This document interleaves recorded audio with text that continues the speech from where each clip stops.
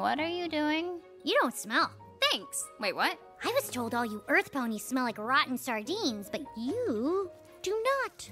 Hmm. What else do unicorns say about Earth ponies? Oh, just that you're lazy and not the brightest crystals in the forest.